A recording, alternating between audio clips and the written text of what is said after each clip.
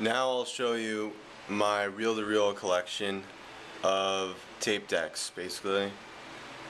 This is what I own.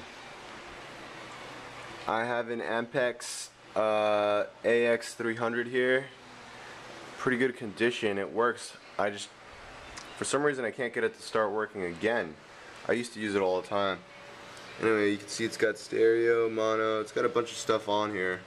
Um, I'm not sure what one or two of the things are, but everything else is pretty much figured out. This is another one that I was using.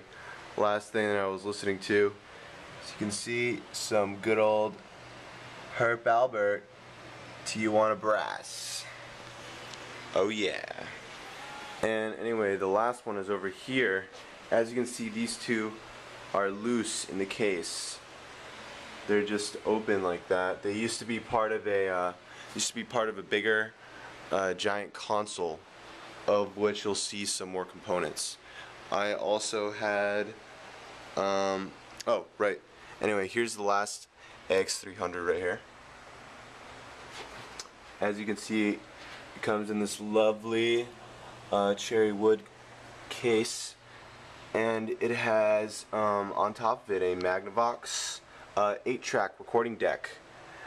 I don't have any 8 tracks um, to be able to test that with, but pretty soon I'm hoping to uh, come across a find.